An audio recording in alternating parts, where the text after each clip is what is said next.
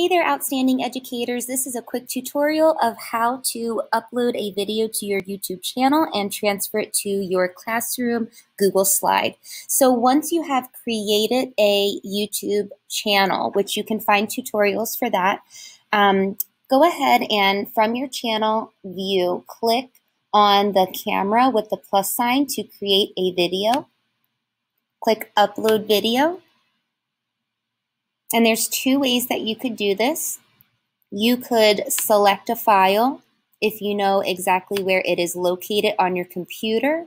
Or what I like to do is have the file ready on my desktop so I can just drag and drop by clicking and holding it down, dragging it over and letting go. Now this does take a moment to upload, so very quickly I'll go over some other details.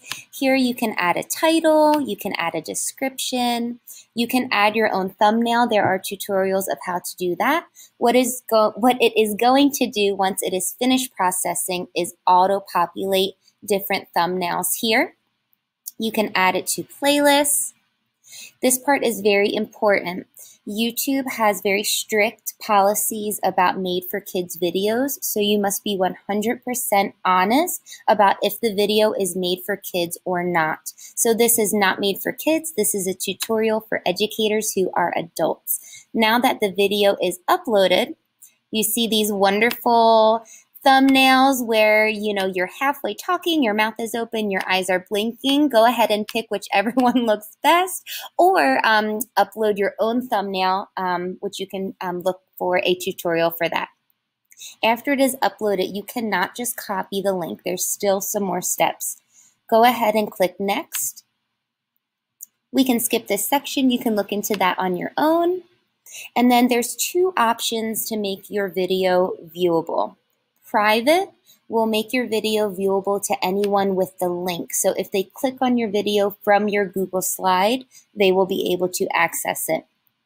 Public makes anyone able to search for it on YouTube and find it. And then unlisted would mean only you can see it. So make sure you either click private or public, depending on who you would like to um, see your video. And then after you click public or private, publish, and then you are going to click copy link. Once you have that link, you can go to your Google slide, click insert, video, click by URL, so it may look like this at first,